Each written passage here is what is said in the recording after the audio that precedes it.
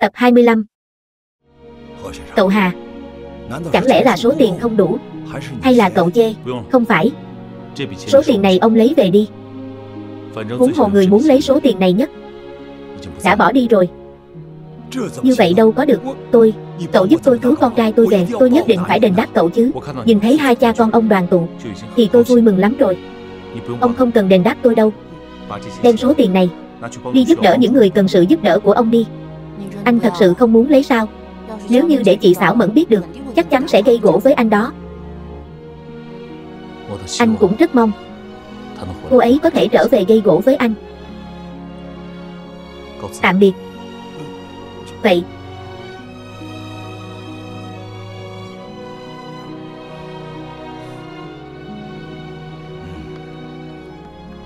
Thiên Vũ à Con là ba đời đơn truyền Của chu gia nhà ta. Cha chỉ mong con có thể sống bình an.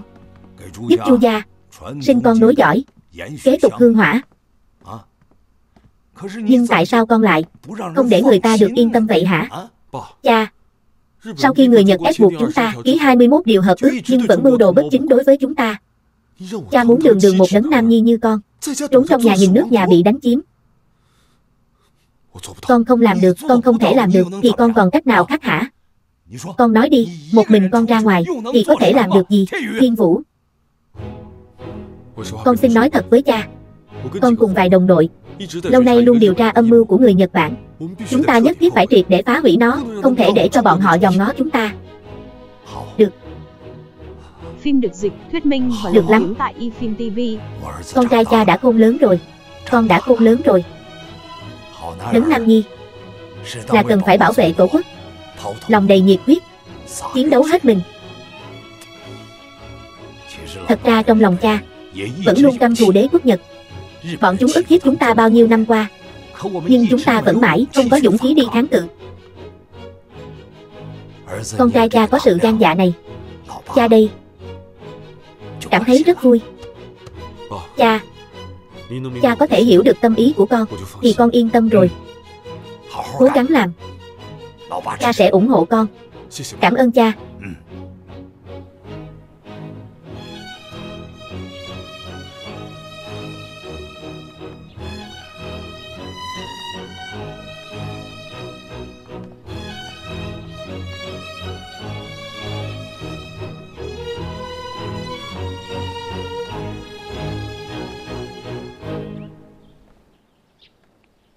Cha cậu thật sự đồng ý. Cho cậu tiếp tục theo họ làm việc à? Tất nhiên rồi. Ông ấy biết tôi đi làm việc lớn Còn rất ủng hộ tôi nữa. Không cản tay cản chân thì tốt lắm rồi. Sau này các vị có tính gì không? Hay là cùng chúng tôi đi chấp hành nhiệm vụ đi. Cậu tưởng chúng ta đi chơi hay sao? Còn dẫn cả đám người theo. Tôi có một vấn đề. Trung tâm nghiên cứu mà chúng ta đã phá hoại Thật ra đang nghiên cứu hạng mục gì? Vấn đề của anh cũng nhiều thật Tôi khuyên anh đừng tốn hơi nữa Tôi sẽ không cho anh biết đâu。Nếu như tôi đã biết hết mọi chuyện thì sao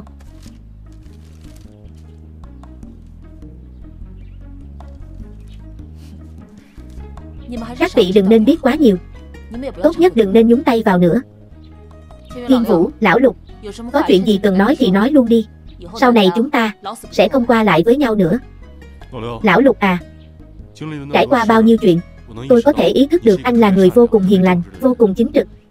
Tôi cảm thấy ân oán của mình, Có thể quên rồi. Tôi không tính toán với anh nữa đâu. Cậu không tính toán với tôi, Nhưng tôi tính toán với cậu đó. Tiền đồ tốt đẹp của tôi, Cũng vì cậu mà hoàn toàn tan vỡ. Tôi hả? Anh lại nữa rồi, Anh coi lại mình đi. Tôi làm sao? Năm xưa chính là lỗi của cậu, Lỗi của tôi. Đúng vậy, Chính là lỗi cậu. Nếu không phải do cậu dở trò Thôi đi đừng có ồn nữa. Không phải. Tôi cho anh biết Đừng nói nữa. Rõ ràng võ công của tôi cao cường hơn cậu. Thiên Vũ Anh và tôi là bạn tốt Anh em tốt. Chúng ta cũng không biết là sau này có thể gặp lại không nữa. Nhưng mà tôi sẽ không quên anh đâu. Tôi cũng không quên cô đâu. Đừng có quên bí mật nhỏ giữa hai chúng ta. Cá chua ngọt làm từ cà rốt. Đúng, cá chua ngọt Ngon nhất trên thế giới này luôn. Làm sao tôi quên được chứ? Hai người ân ái đủ chưa? Bây giờ chúng ta xuất phát được chưa? Thiếu Hân à Chúng tôi đi trước nha. Tạm biệt. Tạm biệt nha. Thôi tôi đi đây. Bảo trọng. Thuận buồm xuôi gió nha.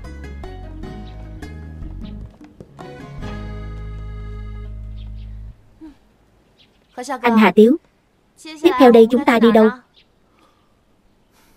Anh cũng không biết nữa. Chị xảo mẫn bỏ đi rồi. Hay là chúng ta đi tìm chị ấy đi. Anh Mạnh Hùng Anh thấy thế nào? Hiếu Hân à. Em và Thiên Vũ còn có bí mật riêng hả? Còn nói món cá chua ngọt làm từ củ cà rốt. Thật ra là sao? Trời ơi Đó là chuyện khi còn ở trong trại bí mật Anh ta đã làm một món. Cá chua ngọt rất là ngon Ngon nhất trên đời luôn. Có gì đâu mà ngon Còn nói cái gì ngon nhất trên đời? Anh thì hiểu cái gì chứ? Anh ta rất cố gắng làm cho em ăn mà. Tất nhiên là em cảm thấy cảm động rồi Cho nên em mới thấy Đó là món cá chua ngọt ngon nhất trên thế giới này luôn Thì anh cố gắng rồi. Ngày nào cũng nấu đồ ăn ngon cho em ăn đó.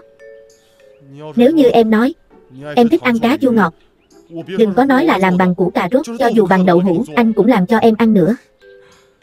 Phim được dịch Anh Mạnh Hùng. Sao tự nhiên anh đỏ mặt vậy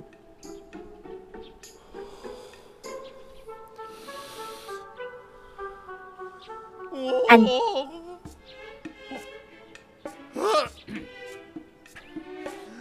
Anh đối với em.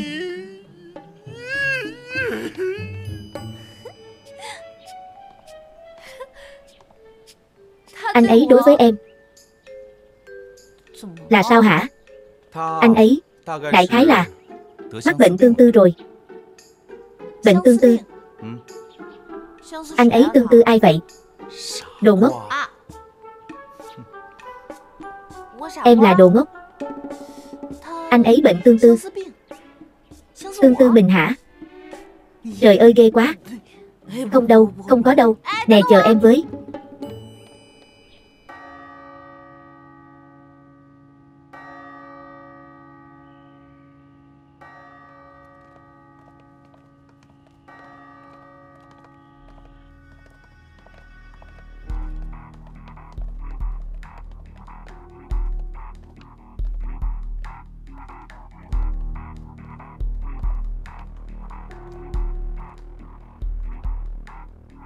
Báo cáo.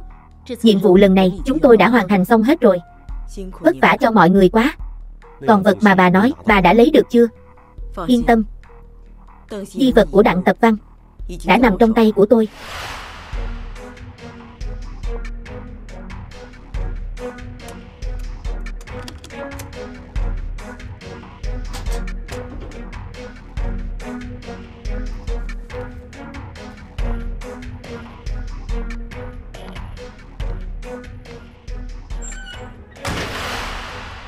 Trong hành động lần này, Chúng tôi gặp phải một người tên Hà Tiếu. Hà Tiếu.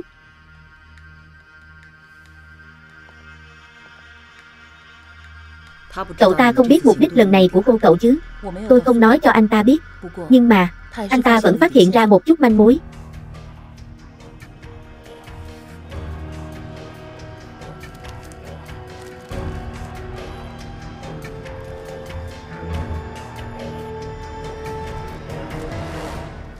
Hy vọng cậu ta đừng tới nữa. Lâm Sương Tôi còn có nhiệm vụ giao cho cô. Hai người bọn họ sẽ tiếp tục đi theo cô. Dạ Tôi hiểu rồi. Nhưng mà cô giáo Tôi lo lắng bà một mình sẽ gặp nguy hiểm. Bây giờ không thể lo ngại nhiều nữa. Người Nhật Bản đã bắt đầu bước hành động kế tiếp rồi. Vậy bà sẽ đi đâu? Thiên Tân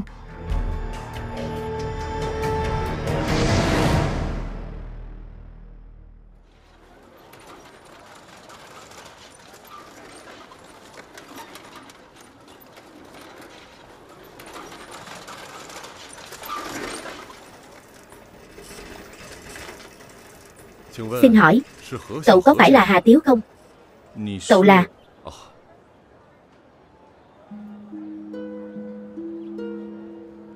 Ký hóa cư. Cậu là thuộc hạ của cư chủ. Tôi nhận ra cậu. Cậu Hà đúng là có trí nhớ rất tốt. Sao cậu lại tới Nam Kinh? Cư chủ có chuyện muốn tìm cậu. Cư chủ cũng tới đây à? Cậu Hà, Mời đi theo tôi.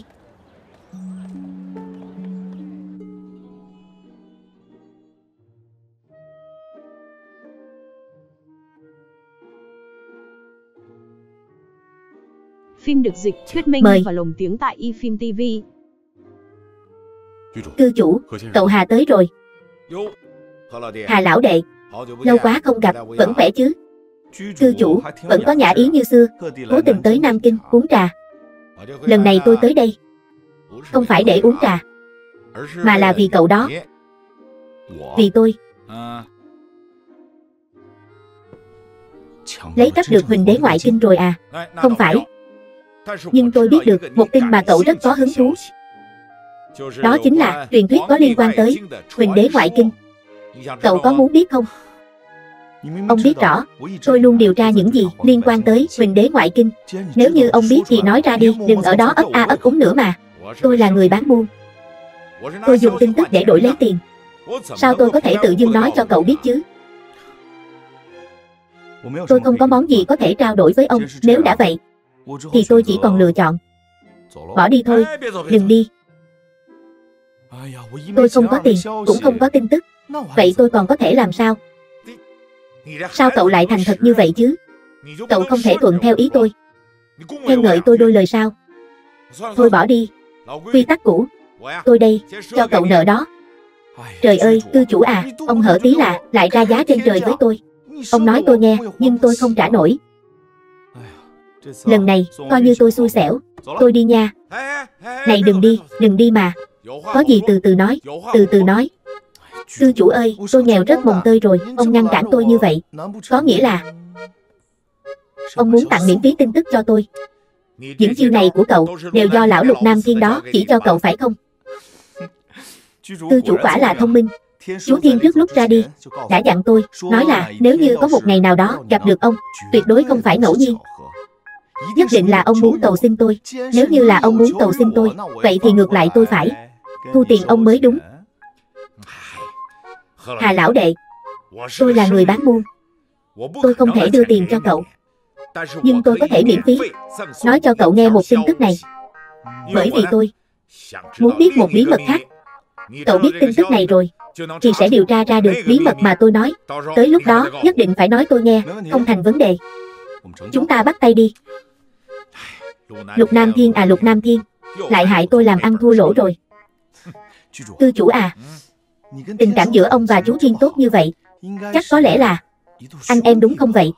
Cậu đừng nói bậy nha, ông ấy già như vậy, sao tôi có thể làm anh em với ông ta được chứ? Tôi, trẻ trung như vậy, nhìn giống như anh của cậu mà thôi. Ông thật sự nghĩ vậy à? Thôi được rồi. Bây giờ thì ông mau nói về truyền thuyết Huỳnh đế ngoại kinh đi Được Mời bên này Bình đế ngoại kinh là bảo vật thời nguyên cổ. Mà trong thời gian đó Còn có một món bảo vật Cũng vô giá không kém. Bởi vì truyền thuyết nói rằng Ai lấy được hai món bảo vật đó Thì người đó sẽ có được thiên hạ.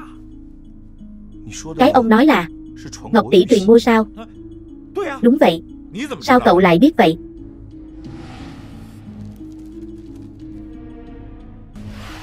Ngọc tỷ truyền ngôi và huỳnh đế ngoại kinh.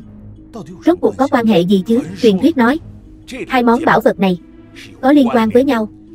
Chỉ cần cậu có thể tìm được Ngọc Tỷ, Thì cậu sẽ tìm ra Huỳnh đế ngoại kinh. Cho nên tôi hy vọng cậu, Hà Lão Đệ, Có thể tìm ra được Ngọc Tỷ này. Không phải, Nên tôi hy vọng Hà Lão Đệ Có thể tìm thấy Ngọc Tỷ này. Sau đó mới có thể tìm thấy cái này, Bí mật thật sự của Huỳnh đế ngoại kinh cuối cùng sẽ biết được nguyên nhân thật sự về sự ra đi của cha cậu. Vậy Ngọc tỷ đó còn hay không? Gần đây mới vừa xuất hiện. Phim được dịch ở đâu? Và lồng tiếng tại Thiên Tân TV.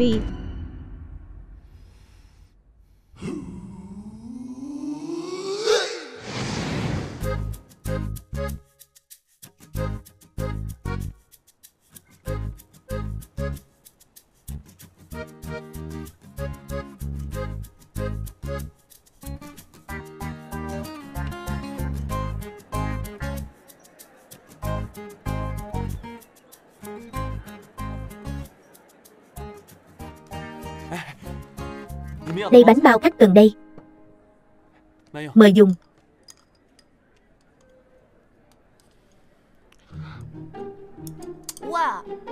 Ăn kiểu gì vậy? Không thể lịch sự chút sao? Mặc cái đồ này ăn bánh bao Khó chịu quá. Tới Thiên Tân, đáng lẽ ra phải giả dạng, thương nhân giàu có chứ. Giờ sao đây? Ăn bánh bao. Người ta thường nói, tới Thiên Tân không ăn bánh bao cậu bất lý, coi như chưa từng tới. Thiếu Hân à, tôi thấy cô ở bên Mạnh Hùng, không học được gì cả, chỉ học được cái ăn tham thôi. Em, anh nói gì vậy? Ai bên nhau với Mạnh Hùng chứ? Tôi nói hai người họ bên nhau hồi nào đâu. Ý của Hồng Linh là em lúc nào cũng ở chung một chỗ với Mạnh Hùng. Chỉ sợ là có người để tâm sẽ hiểu lầm đó.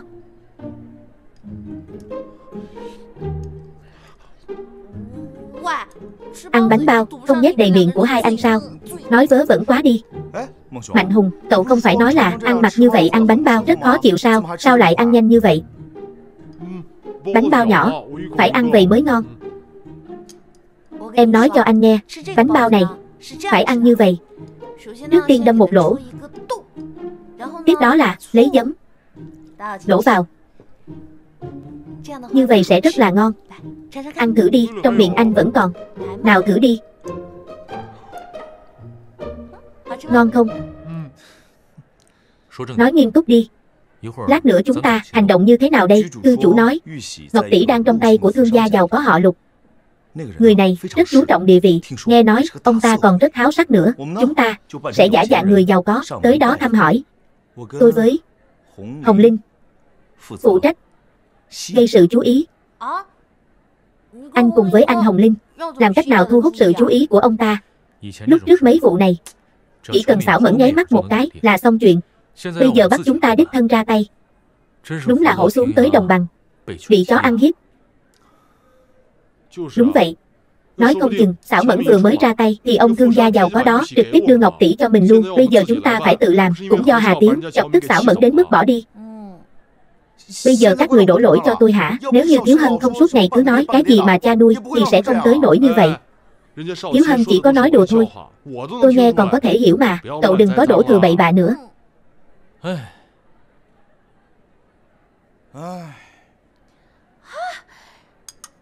Sao vậy? Những gì chị xảo mẫn làm được, Lục Thiếu Hân em đây cũng làm được mà. Đó chỉ là một cái nháy mắt thôi. Tiểu nhị, dạ, tới đây. Vị tiểu thư này có gì dặn dò ạ? À? Anh tiểu nhị ơi. Làm gì vậy? Anh tiểu nhị ơi, em cảm thấy bánh bao trong tiệm của anh ngon quá trời luôn. Có thể cho em thêm một lồng hay không vậy? Tôi cần bánh bao thì gọi bánh bao. Sao cứ chớp mắt suốt vậy? Ông chủ ơi, cho thêm một lồng bánh bao đi. Có ngay. Hai đồng. Lúc nãy tôi nhìn anh. Như vậy rồi, mà anh còn lấy tiền của tôi nữa. Là sao? Thì cô kêu thêm một lồng bánh bao. Đương nhiên là phải tính tiền thêm rồi, không đúng. Anh bị sao vậy? Phim được dịch anh tiểu nhị ơi, sao anh có thể đối xử với người ta như vậy được chứ? Tôi nói cô nghe nè cô gái, đầu của cô có vấn đề gì hả? Đầu của anh mới có vấn đề đó, cả nhà của anh đều có vấn đề hết, sao cô có thể không nói lý lẽ như vậy?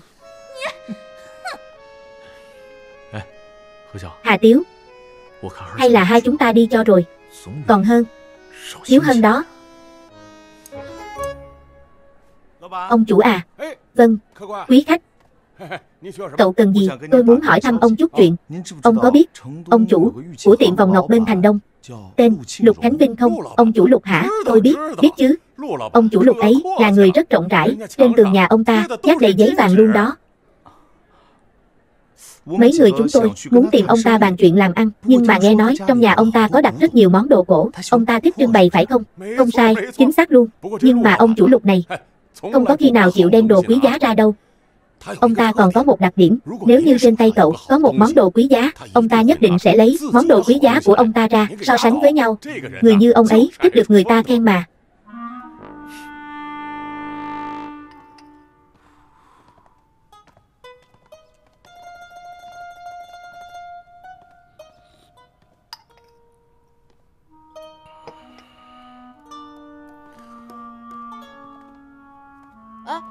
Thiếu gia Cậu thấy cái này thế nào?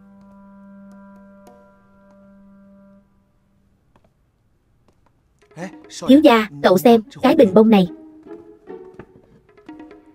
Cái này thì sao? Bình thường. Quá tầm thường.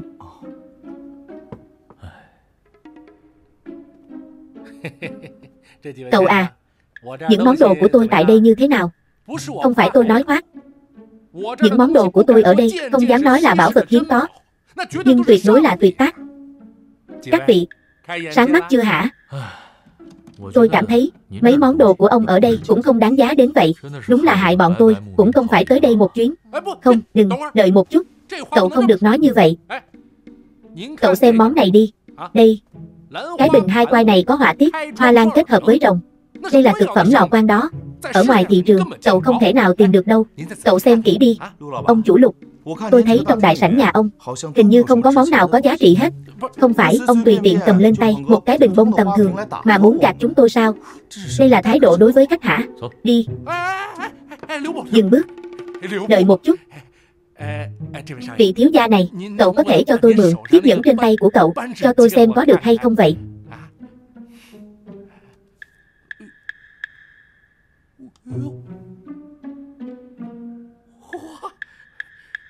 Đây tuyệt đối rất có giá trị. Nếu như tôi không nhìn lầm, đây nhất định là chiếc nhẫn Long Phụng Ngọc Phỉ Thúy. Món đồ này là đồ ở trong cung. Thiếu gia, cái này cậu lấy ở đâu ra vậy? Đồ trong cung. Tất nhiên là cho chủ tử thưởng cho rồi. Ông chủ lục, thiếu gia nhà chúng tôi rất có thành ý tới tìm ông xin chỉ giáo. Nếu như nơi ông chủ đây không có món đồ nào có thể sánh hơn bảo bối trên tay thiếu gia nhà tôi Vậy thì chúng tôi xin cáo từ. Từ từ khoan đã, đừng đi mà. Món, món đồ quý giá hả? Đương nhiên là tôi có rồi. Nhưng mà tôi không thể tùy tiện cho người khác xem được. Có đúng không? Nếu như mà thiếu gia đây đã rộng lượng cho tôi xem bảo bối của cậu ta. Vậy thì đương nhiên tôi phải lấy món đồ của mình ra cho cậu ta xem mới đúng chứ. Và hôm nay tôi sẽ cho các người sáng mắt vì bảo bối của tôi. Thật sao? Món đồ quý giá đều ở bên trong Xin mời qua đây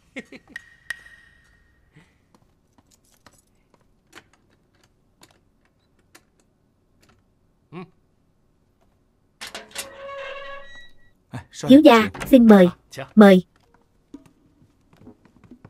Phim được dịch, thuyết minh và lồng tiếng tại eFilm TV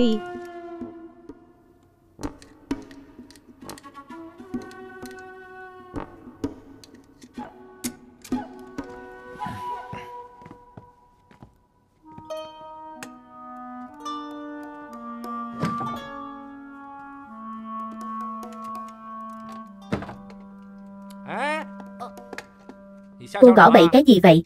Làm hư cô có đền nổi không hả?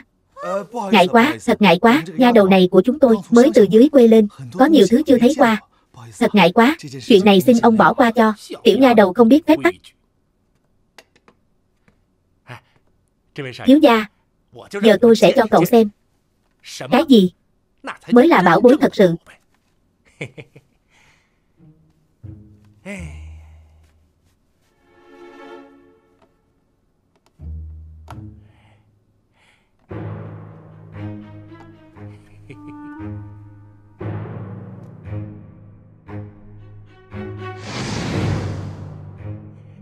Thiếu gia, các cậu xem.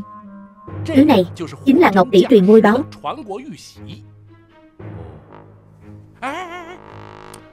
Bảo vật vô giá, rất quý giá. Cậu chỉ được nhìn thôi, đừng có đụng vào. Cái ngọc tỷ truyền ngôi này. Thiếu gia, nghe nói ngọc tỷ này rất lợi hại đó. Ông chủ lục, món đồ này của ông không tầm thường chút nào. Sao hả, tôi đã nói là phải khiến cho các cậu sáng mắt mà. Món đồ của tôi. So với chiếc nhẫn của cậu thì Thiếu gia, Cái của cậu không đáng nhắc tới nữa có đúng không?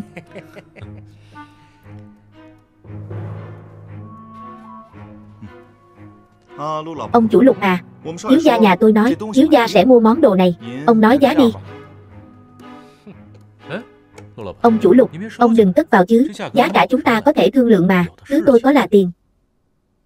Tôi cũng biết các cậu là người hiểu biết các cậu cũng biết cái ngọc tỷ truyền ngôi này là bảo vật vô giá. Tôi chỉ muốn cho các cậu sáng mắt thôi. Muốn mua sao? Xin lỗi, tôi không có bán. Ông chủ lục à, có gì chúng ta có thể thương lượng mà. Không có gì để thương lượng cả. Các cậu, đừng ở đây hao hơi tốn sức nữa. Cũng đừng có nảy sinh ý định gì. Đối với ngọc tỷ của tôi, tôi ấy à, tôi không có bán đâu. Lục mổ tôi, không tiếp các cậu nữa. Xin mời, tiễn khách.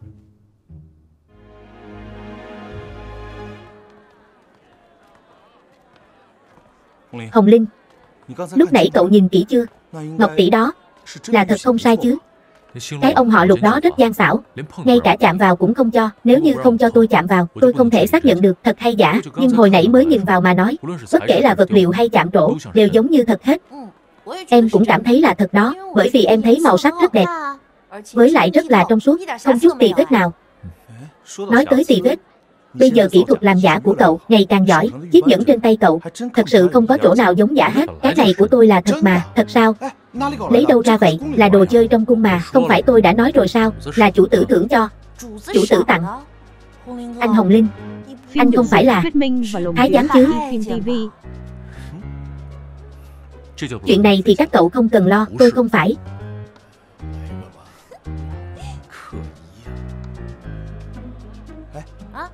Lúc nãy nhìn thấy cái tủ của ông chủ lục, quá phức tạp như vậy. Em có tự tin không? Yên tâm đi. Lục Diếu Hân em là nữ trộn thần kỳ mà, bất kể khóa nào em cũng mở được. Giao cho em đi. Được thôi. Đợi khi trời tối, hai chúng ta sẽ ghé thăm nhà ông chủ lục một chút. Anh à, có thể ăn no bụng. Trước khi làm việc có được không? Cái con nhỏ lục chiếu hân này, sao em giống y chang mạnh hùng vậy? Nhất định phải ăn no xong mới đi làm việc, điều đó là đương nhiên. Đợi anh với.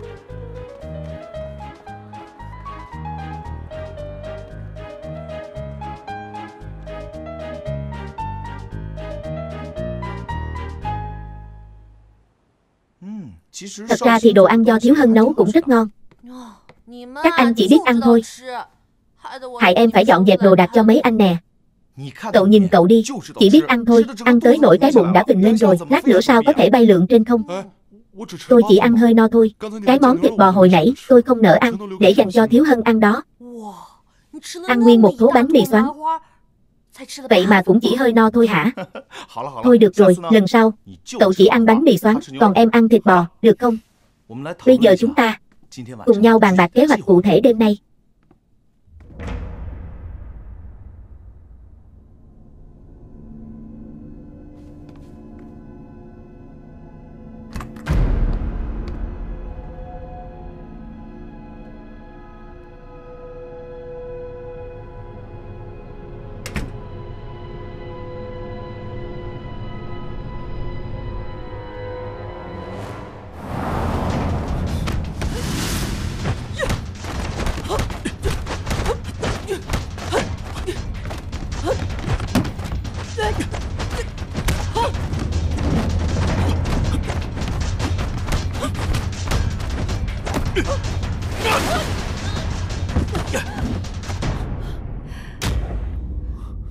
Phạm Hồng Linh, ngay cả em anh cũng không nhận ra sao, Khải Tuyền. Sao lại là em vậy? Em không được tới thăm anh sao? Tới thăm anh. Từ đó được nói ra từ miệng em, nghe đơn giản quá. Hồng Linh à, tính ra thì chúng ta đã 3 năm không gặp nhau rồi. Không phải không gặp, mà là muốn gặp, mà gặp không được. Hồi đó người bỏ đi không nói tiếng nào. Không phải là anh. Em biết là anh còn giận chuyện năm xưa. Lúc đó chắc anh tìm em cực khổ lắm ha. Trần Khải Tuyền. Anh đúng là tìm em rất cực khổ. Ba năm trước Em bỏ đi không nói tiếng nào. Bây giờ lại đột nhiên xuất hiện. Như không có chuyện gì xảy ra hết. Thôi được rồi mà Coi như lỗi tại em đi Em chỉ muốn gây ngạc nhiên cho anh thôi mà. Anh nói cho em biết Anh không cần kinh ngạc. Anh chỉ muốn biết ba năm nay Rốt cuộc em đã đi đâu vậy? Trời ơi Hồng Linh à. Chuyện đã qua nhiều năm rồi mà Anh còn nhắc tới làm gì nữa? Người ta có lòng tốt tới thăm anh. Mà anh lại tỏ thái độ như vậy Đừng, đừng đùa giỡn. Đêm hôm khuya khoắt như vậy Em đến thăm anh không chỉ muốn nghe những lời nói nhàm chán này chứ, sao anh kỳ quá vậy? Vẫn y như trước, không chút thay đổi. Được thôi. Vậy em nói thật đây. Lần này em tới đây là có chuyện muốn nhờ anh giúp đỡ. Giúp chuyện gì? Em nghe nói là anh với Hà Tiếu đang chuẩn bị làm một chuyện lớn. Chuyện gì vậy? Trước mặt em đừng có giả vờ nữa. Các người không phải đang tìm Ngọc Tỷ sao? Sao em biết vậy? Người góp sức cho quốc gia không chỉ có mình anh đâu. Có những lời em không tiện nói nhiều. Anh cứ tin em thì không có sai đâu. Trần Khải Tuyền. Lúc em biến mất, anh đã hỏi hết tất cả mọi người trong đảng. Cũng không có tin tức gì của em. Bây giờ em đột nhiên xuất hiện. Nói là góp sức cho đảng. Em nói coi anh tin em kiểu gì đây? Vậy ý của anh là không định giúp em hay sao? Ngay cả tình duyên năm xưa, anh cũng không màng tới à, anh với em không có tình duyên gì cả. Phim được dịch Từ cái ngày mà em rời khỏi anh, thì anh đã biết tất cả mọi thứ đều là giả dối.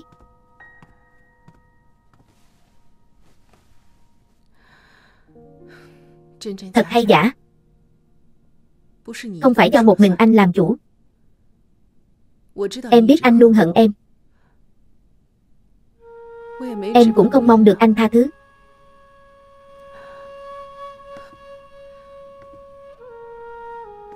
Nhưng em chỉ muốn nói cho anh biết, em và anh đều là người vì quốc gia, hai chúng ta đều hiểu rõ, có một số chuyện không phải chúng ta muốn làm thì có thể làm. Hồng Linh Ba năm qua em đã đi đâu, em đích thực không thể nói cho anh biết.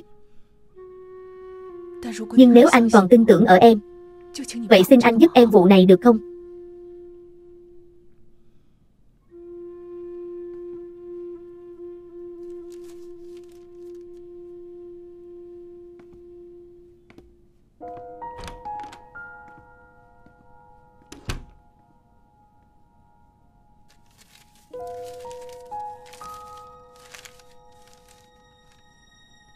Mau tới trước cửa.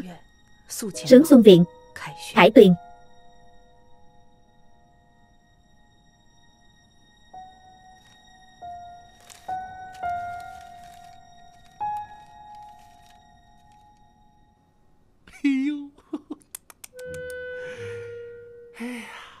Đúng là bảo vật hiếm thấy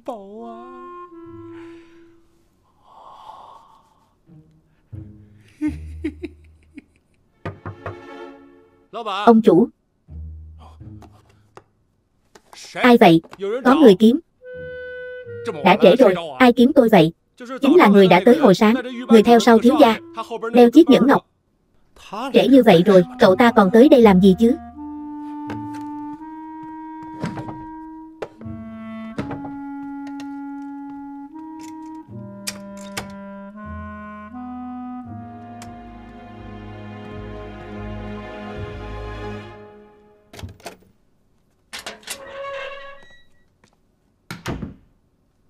Canh gác kỹ nơi đây cho ta.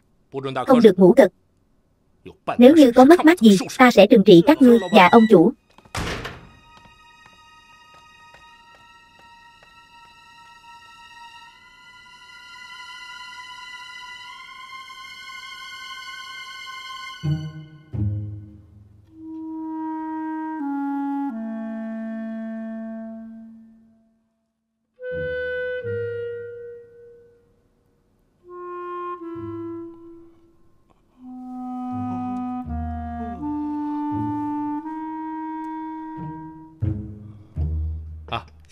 Mời dùng trà.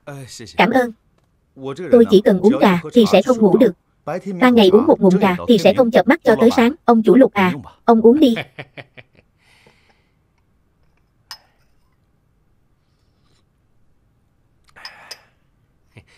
Anh bạn trẻ à. Đêm hôm ghé thăm. Chắc không phải có chuyện gì gấp chứ. Cũng không phải chuyện gì gấp. Chỉ là tôi thay mặt thiếu gia nhà tôi. Tới đây xin lỗi ông Thiếu gia nhà chúng tôi tính tình nóng nảy, chửi người ta, riết thành thói quen luôn. Tuy buôn bán không thành, nhưng tình nghĩa vẫn còn mà. Buôn bán hay không? Không có liên quan gì tới tình nghĩa hết. Cơ mà anh bạn trẻ, cậu làm việc cũng rất là giỏi giang. Cậu đừng vòng vo nữa Có chuyện gì Cậu cứ việc nói với tôi đi Như vậy Cậu lui trước đi Dạ Ông chủ lục Ông lợi hại thật. Không giấu ông. Thuyết minh Tôi là vì TV Vì Ngọc Tỷ mà tới đây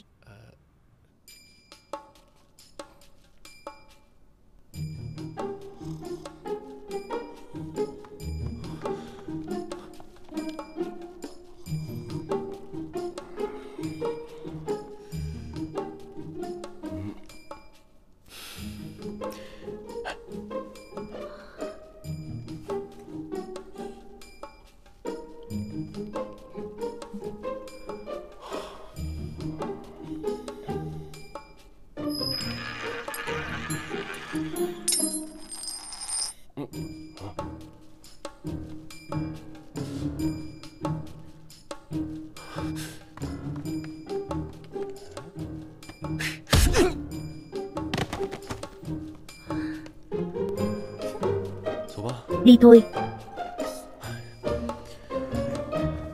Anh bạn trẻ à Tôi không phải đã từng nói với cậu.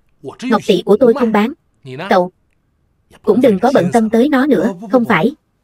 Ông chủ lục Ông đừng hiểu lầm. Ý tôi là Ngọc tỷ mà ông đang giữ ở trong tay Có thể bán ra được Thì ông mau bán đi. Nguy hiểm quá. Anh bạn trẻ thật biết nói đùa. Ý của cậu là ngọc tỷ trong tay tôi Sẽ không an toàn. Trong tay của cậu sẽ an toàn sao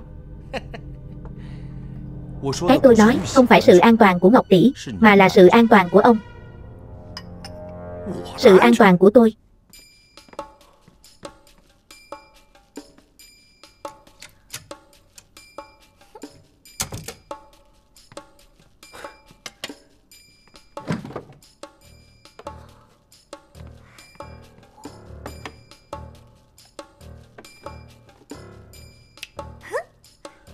Quả nhiên là tiểu nữ thần trộn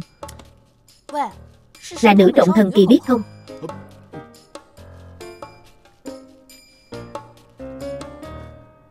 Thật ra trước lúc chúng tôi tới đây Thì đã biết được. Ngọc Tỷ đang nằm trong tay ông. Với lại không những, Chỉ có chúng tôi biết. Rốt cuộc cậu định làm gì vậy? Tôi nói cho cậu biết. Tôi không cần. Ông chủ lục. Ông chủ lục à Ông chủ lục ông sao vậy? Ông chủ lục à Đừng giỡn nữa mà Ông chủ lục.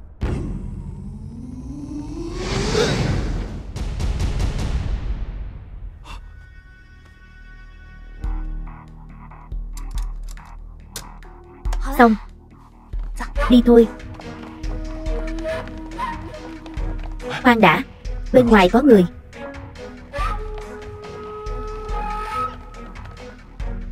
Không làm kinh động tới ai hết, Chúng ta không phải.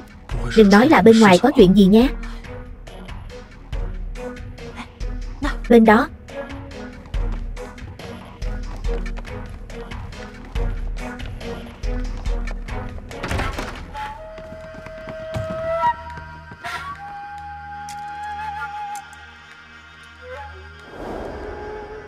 Khoan xem đã. Đuổi theo.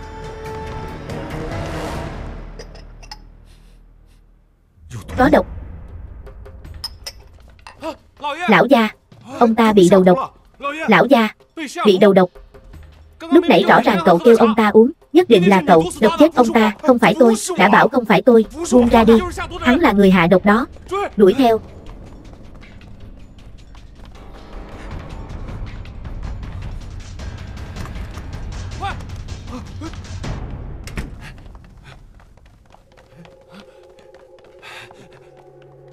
Tôi thấy hình như cậu ta chạy vào phòng này, Đúng đó. Nhưng đây là phòng của mợ bảy. Giờ phải làm sao đây? Lão gia từng nói, Ai dám bước vào phòng của mợ bảy, Đánh gãy chân người đó. Đúng vậy, Làm sao đây? Mặc kệ đi, Lão gia cũng chết rồi, Cậu sợ cái gì? Cậu, Theo tôi vào trong đi. Bên đó. Ai đó? Xin lỗi mợ bảy, Chúng tôi đang Đang bắt người. Bắt người sao lại tới đây? Mợ bảy Mợ không biết. Lão gia đã bị sát hại, chúng tôi đang đuổi bắt hung thủ. Lão gia bị người ta sát hại, sao các ngươi lại chạy tới đây, còn không mau đi tìm đi, dạ vâng. Sao rồi, đi lẹ đi.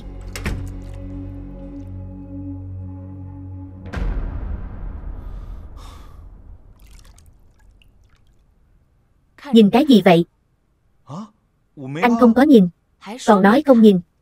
Anh dám nhìn nè, nhìn nè, dám nhìn nè.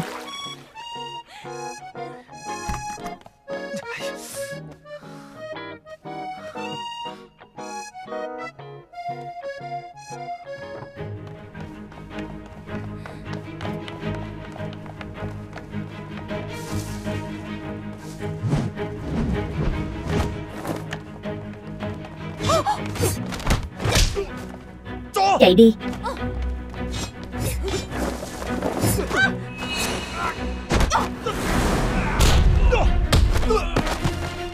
chạy,